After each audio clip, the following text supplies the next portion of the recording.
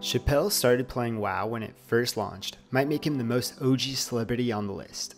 Vin Diesel has a streak of playing World of Warcraft with his coworkers. Ronda Rousey said in an interview that Diesel and her would set up LAN parties in between shoots. There's also this screenshot of Diesel running through Tanaris with the late Paul Walker. Number 5. Aubrey Plaza. She filmed this WoW commercial back in 2011. I told them I'd throw them into the depths of Ragefire Chasms. They thought I was bluffing.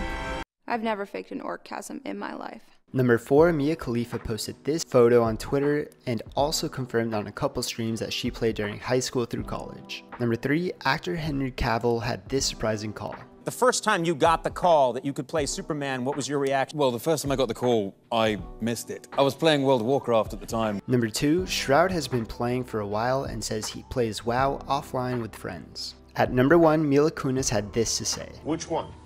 World of Warcraft. Oh my god, it's such a good game. I love it.